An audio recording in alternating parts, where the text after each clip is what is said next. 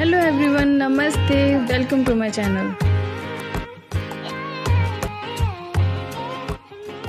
अगर किसी गलती को सही समय पर ठीक ना करें तो वो आगे जाके कितने बड़े रूप में आपके सामने आती है।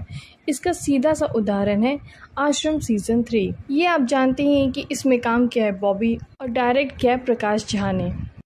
इस बार बाबा निराला ने तो हद ही पार कर दी है, और लोगों ने उन्हें भगवान बना दिया है। पूरे दिन बस बाबा निराला जी के गुणगान। इस सीज़न में राजनीतिक को भी बहुत अच्छे से दिखाया गया है। राजनीतिक की आड़ में पैसे किस तरीके से कमाए जाते हैं, ये आपको इस सीरीज़ में अच्छे से देखने को मिलेगा। इस बार आप एक एपिसोड को देखते देखते बोर हो जाओगे। लगेगा कि ये एपिसोड कब ख़त्म हो। क्योंकि इस बार के एपिसोड 20 मिनट के नहीं 45 मिनट के हो गए हैं। एक बार तो आपको ऐसा लगेगा कि एपिसोड्स को जानबूझ कर खींच रहे हैं। आपको लगेगा कि भाई कब ख़त्म हो ये? कहानी में कुछ खास है नहीं। पर हाँ बाबा निराला का ठरकपन इस सीज़न में भी आपको बरकरार दिखेगा।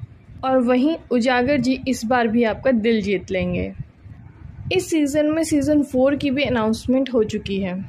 शायद इसलिए सीज़न थ्री को इतना लंबा खींचा गया है, जिसकी ज़रूरत बिल्कुल भी नहीं थी। आप ये सोच रहे हैं ये वेब सीरीज़ देखें या नहीं?